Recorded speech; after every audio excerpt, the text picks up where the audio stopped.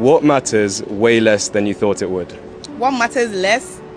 I feel like opinions and people's perception of you doesn't trust me people are living their lives. Everybody's busy. People are hungry okay? Like stop caring and stop thinking about what people think about you. People are hungry. People are tired. Life is hard. Just do you. Sometimes you're there you're overthinking you're like oh what does this person think about me? or did i da da da da? And them they're just like am i gonna like what's gonna happen today like am i gonna make it home Am i there's a lot happening in the world and if you spend your time thinking about like what people think about you you're just going to waste time. Do you find yourself? Be confident in yourself. Don't care about the outcome. Just do. Don't be afraid to fail. Fail as many times as you want to. But when you get it right, you're going to be so proud of yourself. So, yeah. And with that, what is your message to the world? Be confident.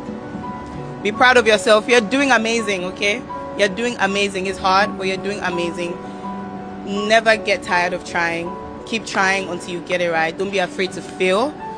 And love yourself and love God.